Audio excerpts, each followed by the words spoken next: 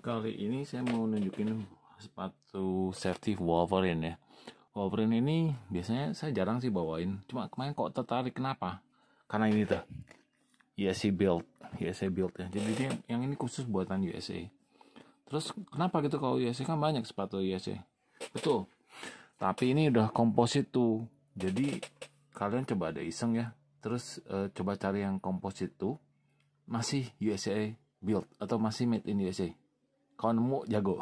Saya sampai detik ini belum pernah dapat ya kecuali ini.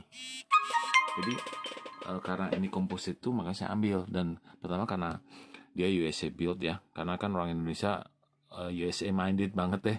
Terus yang kedua dia udah komposit tuh ininya. Terus yang ketiga lagi diskon. Lagi diskon. Terus yang keempat ini ini pull on tipenya ya kan? Pull on. Jadi uh, sekarang lagi susah nih cari ini. Cuman saya dapetinnya yang uh, medium ya atau D kalau misalnya si Redwing ya. Kalau ini dia pakainya M medium.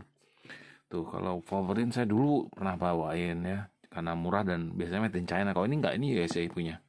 Makanya saya beranilah cobain gitu ya karena kasihan juga orang-orang sini nyariin yang bagus dan komposit itu kayaknya susah banget deh nah jadi ini kalau ini sudah pasti standar ya oil oil, resistant.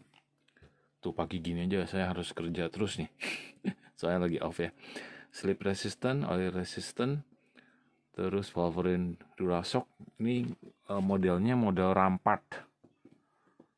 Namanya sih ya. Jadi kalau kalian dapat yang rampart itu artinya ya itu USA made. Buatan USA terus itu juga komposit tuh dan itu yang paling jarang ya.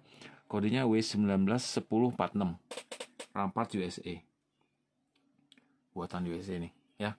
Jadi kalau kalian mau biar kalian nggak terlalu apa terpaku sama produknya Red Wing gitu ini lebih baik sih aku bilang. Jadi kalau kalian butuh saya datengin 10 pasang khusus ya. Pas lagi diskon semoga sih bolehlah bersaing ya. Have a good day